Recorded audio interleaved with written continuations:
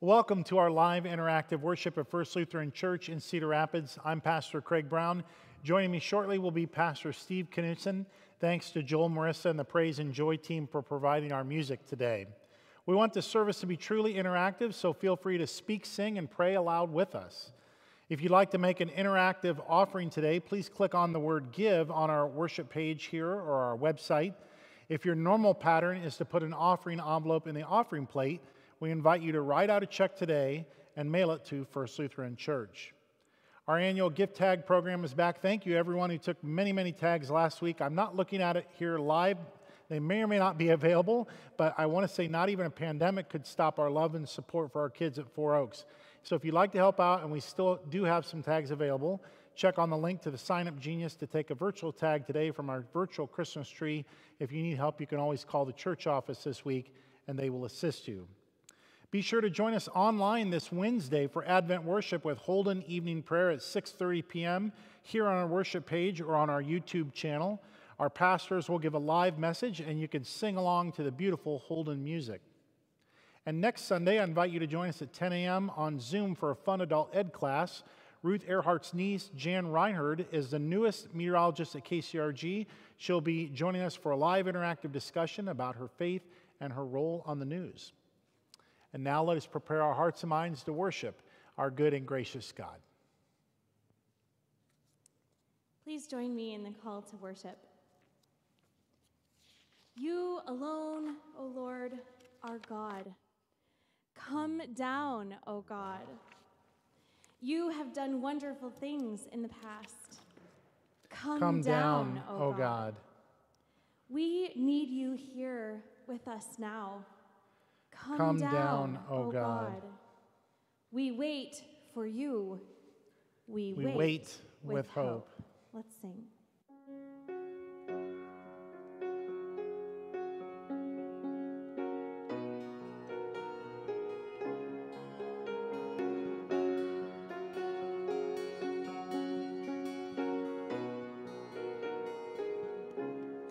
Lo, he comes with clouds descending, once for chosen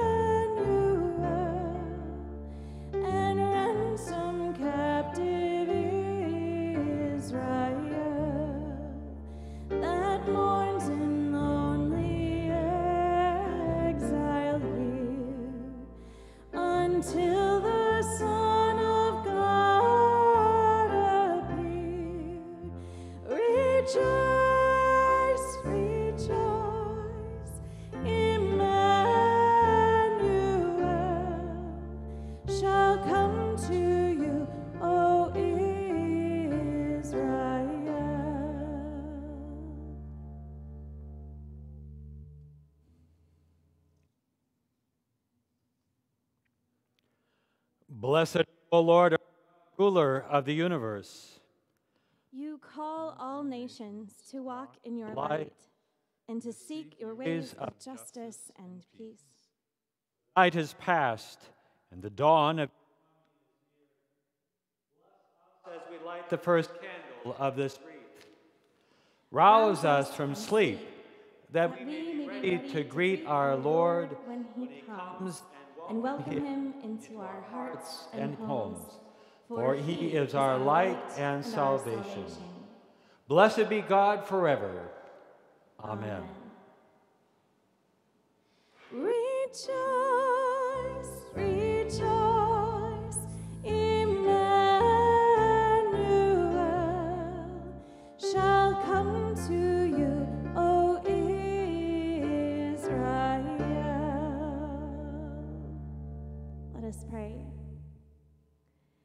Stir up your power, Lord Christ, and come. By your merciful protection, awaken us to the threatening dangers of our sins and keep us blameless until the coming of your new day. For you live and reign with the Father and the Holy Spirit, one God, now and forever. And together we say, Amen. Blessed be the God, the Father, Son, and the Holy Spirit. Amen. Whose forgiveness is sure and whose steadfast love endures forever. Let us honestly and humbly confess that we have not lived as God desires. Loving and forgiving God, we confess that we are held captive by sin. In spite of our best efforts, we have gone astray. We have not welcomed the stranger. We have not loved our neighbor. We have not been Christ to one another. Restore us, O God.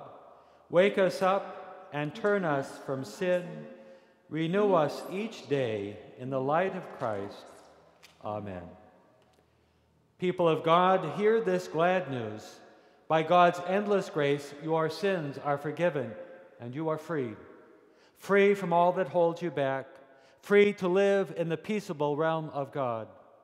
Now may you be strengthened in God's love and comforted by Christ's peace and accompanied with the power of the Holy Spirit. Let us bless the Lord.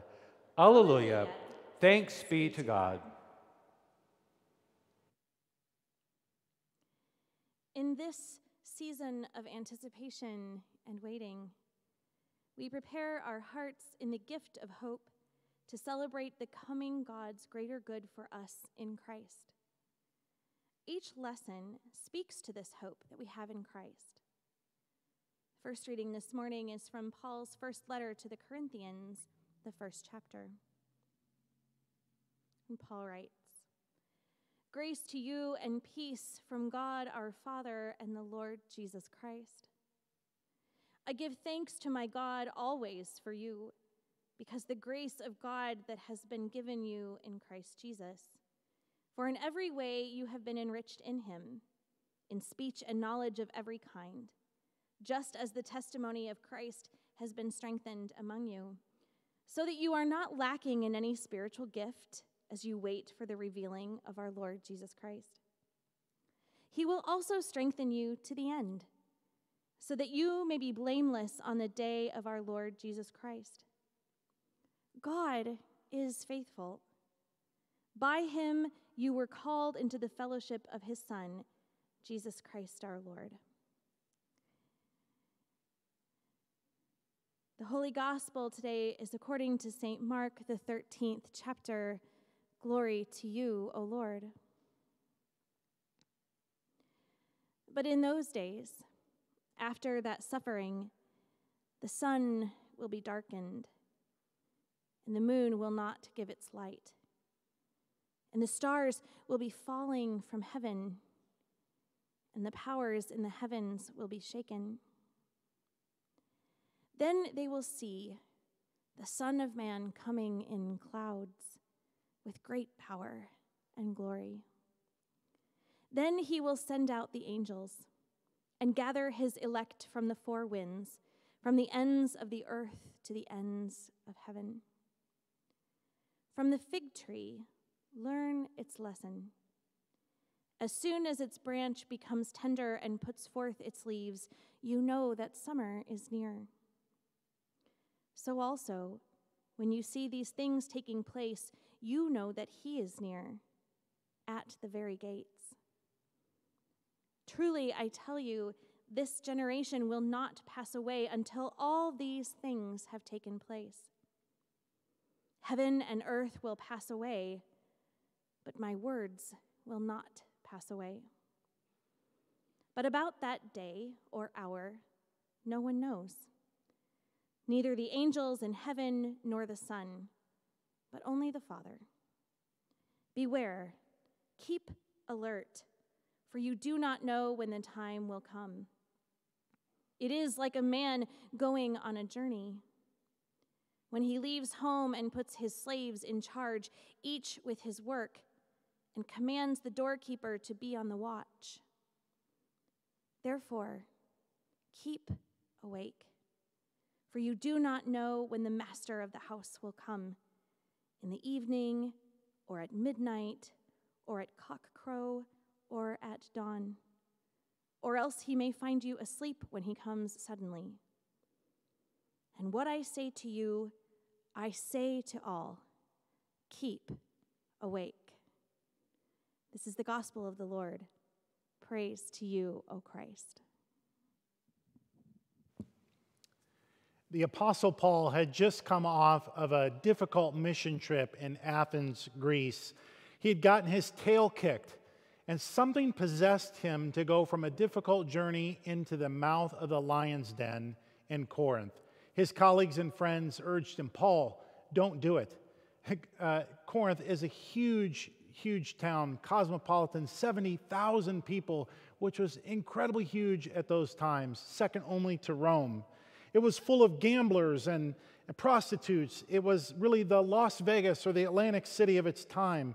In fact, the fun loving town adopted the god of Venus and built a temple in her honor, which employed a thousand prostitutes. Scholars believe it was one city that was, quote, the least likely, unquote, to convert to Christianity, and yet it did.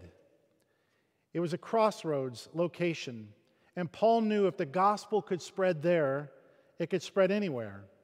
He spent 18 months in Corinth there building one of the largest churches of the first century.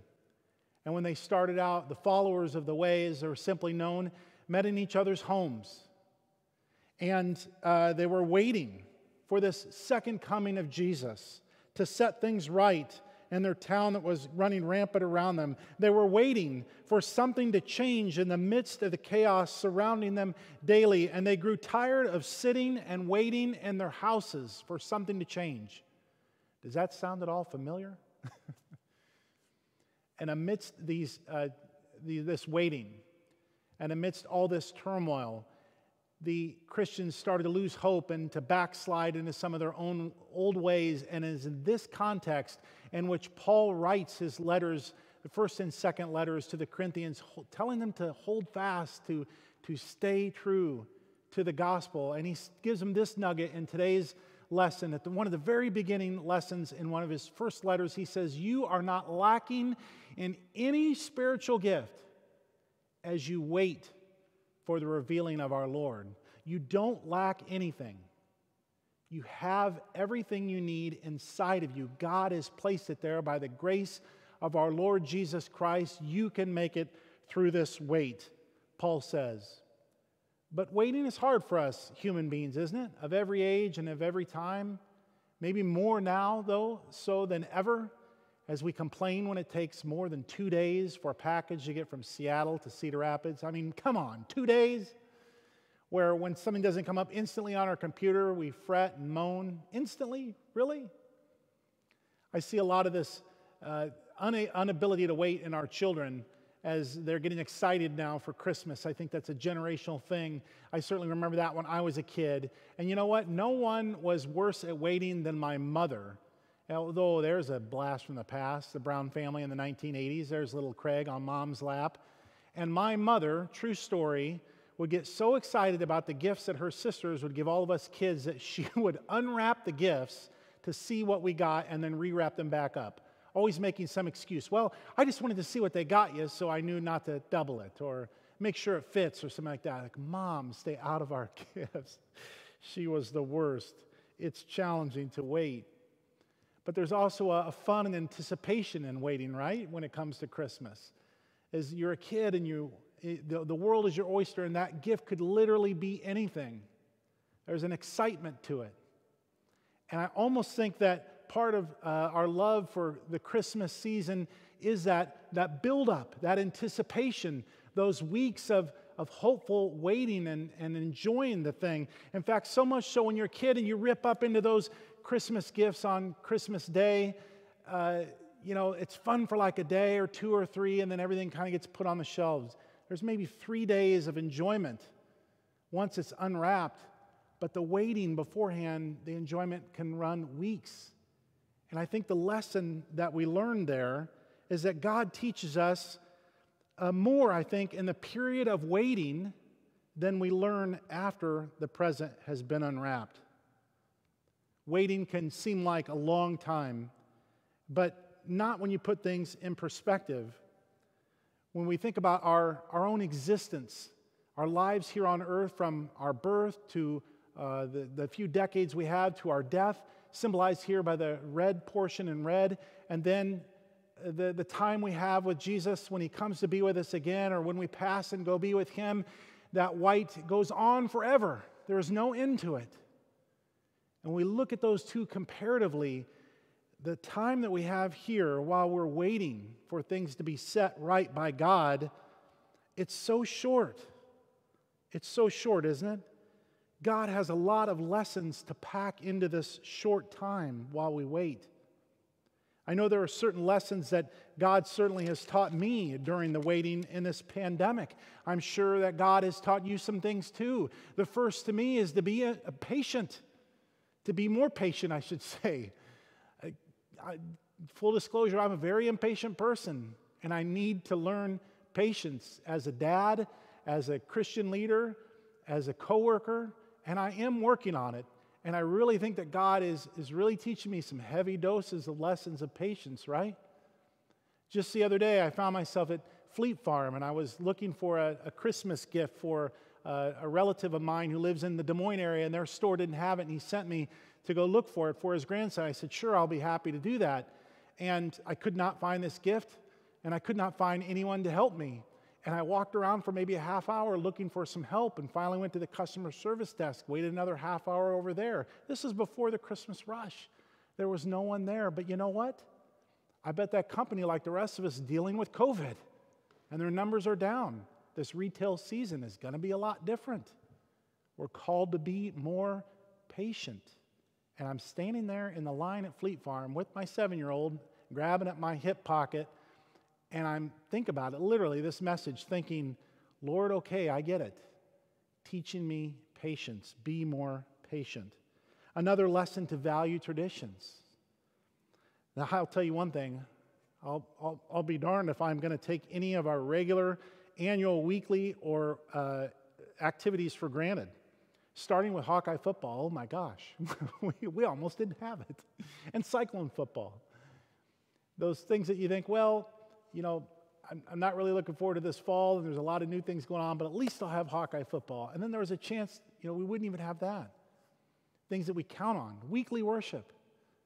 I mean, my gosh, how many of us take for granted in our country the ability to freely go into any church that we want to on any Saturday or Sunday and, and sit down and worship with others, and now we can't. We shouldn't. But I'll tell you what, when the doors open back up, I, as a church member, not as a, a church leader, someone who's leading, helping to lead an organization, but just as a church member, I will try not to take for granted getting the ability to worship with other Christians because it's an awesome thing. To value our traditions. How many of us had to uh, suffer for the, the greater good to not get together this Thanksgiving with our extended family? That was our family. And it was tough. And it's going to be tough thinking about Christmas without grandma and grandpa.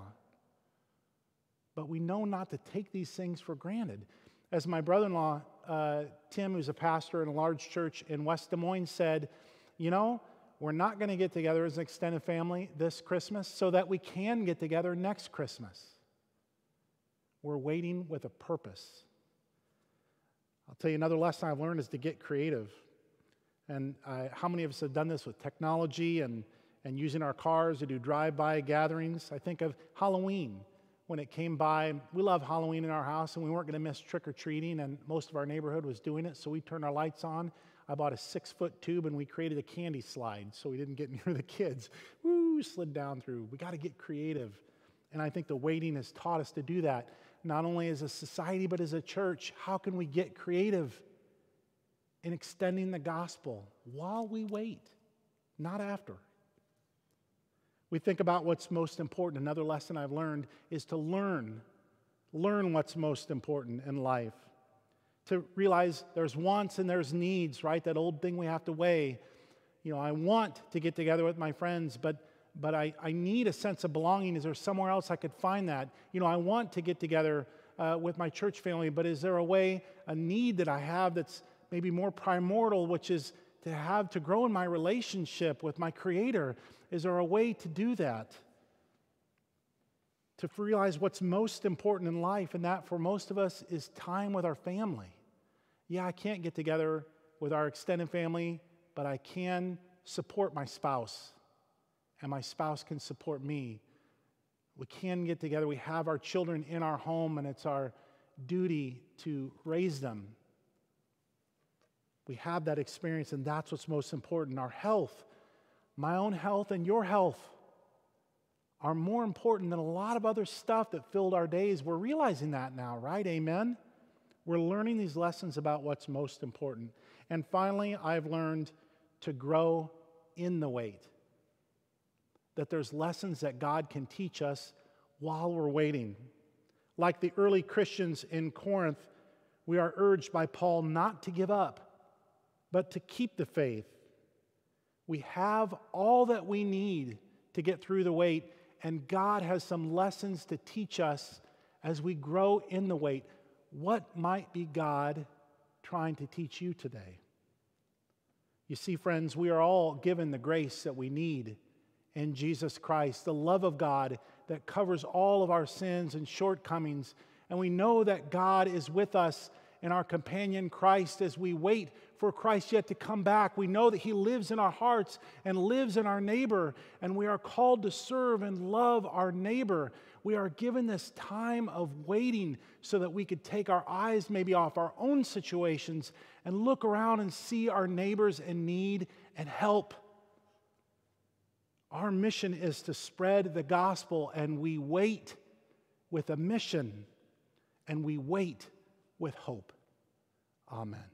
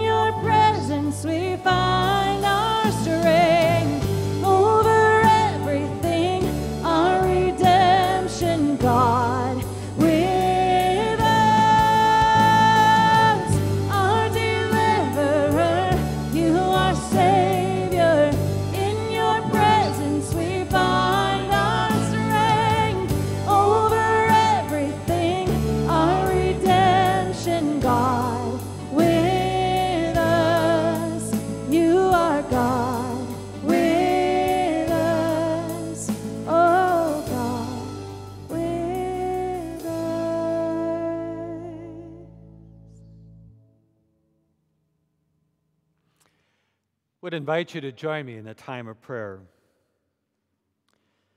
O God of power and might, tear open the heavens and come quickly to this weary world. Hear our prayers for everyone in need. We pray for your lessons as we wait in the hope of Christ. During this time, teach us patience. Help us to value our traditions, to become creative, to learn what's truly important, to grow closer to you. Light of the world, awaken, us to your hope. We pray for all people who take care of others during this pandemic as we wait for a vaccine. Protect and strengthen healthcare workers, teachers, those working essential jobs, and all who are in harm's way. Light of the world, awaken, awaken us to your hope. hope. We pray for people who are in crisis as seasons change, for those without homes facing a severe winter for those who are unemployed or underemployed, for those in poverty or facing food insecurity. Relieve their burdens, sustain their bodies, ease their minds, light of the world. Awaken, Awaken us to your hope. hope. We pray for all who are apart from family this Thanksgiving, for people in our families and the congregation waiting for hope for an end to their depression, anxiety, chronic pain, addiction, other invisible illnesses. Ease their suffering, support them when they struggle. Light of the world, awaken, awaken us to your hope. We give thanks for the lives witness of those who died while waiting for justice, peace, or healing, those whose names we know, and those whose names are known only to you. Sustain all who still yearn for the completion of your redeeming work.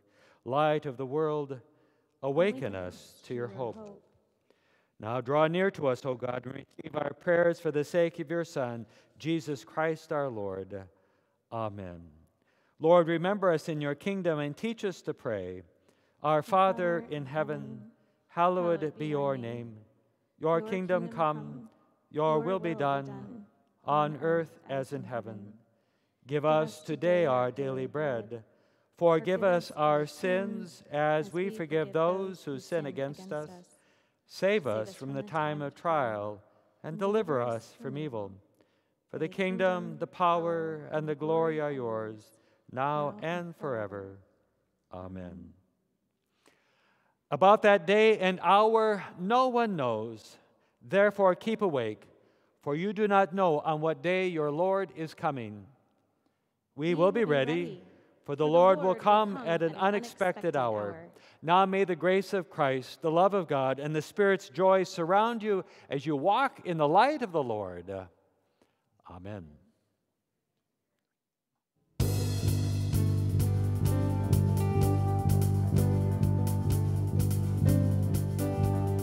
Angels from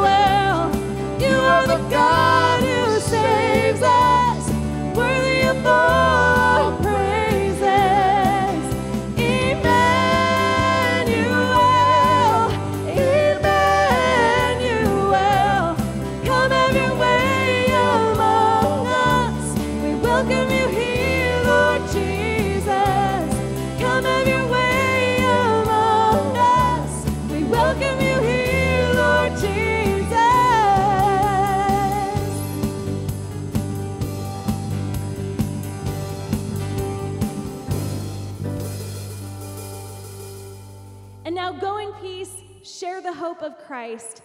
Thanks be to God. Have a great week, everybody.